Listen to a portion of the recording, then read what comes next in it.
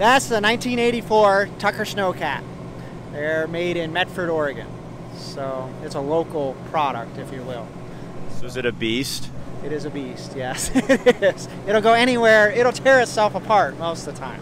They're actually geared so well, but it's perfectly made for what we do with it. But anyway, it's a local product, so. So what do you do with it? We move snow, all the snow.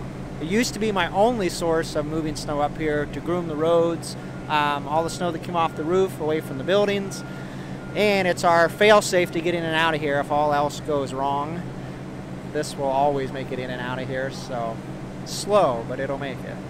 So this is you wouldn't have a lodge without this. I wouldn't have this lodge. No, not at all.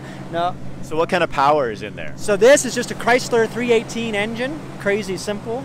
Um, it's not the unique part of the engine. All the chassis that's around that motor is what Tucker has perfected.